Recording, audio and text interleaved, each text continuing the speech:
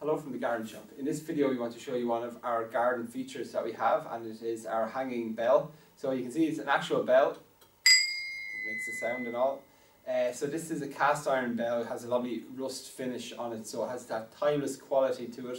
Uh, it comes with our wall mounter here so it has three holes here to allow you to fit it to a wall.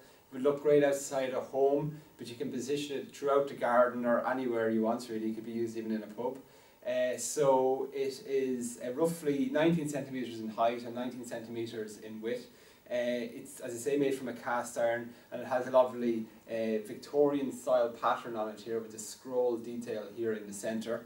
Uh, looking at the bell itself then, you can see that the bell here is a separate thing and it's screwed on and then below that you can see it has a, a, a, a rope um, handle or pull on it here to allow you to ring the bell.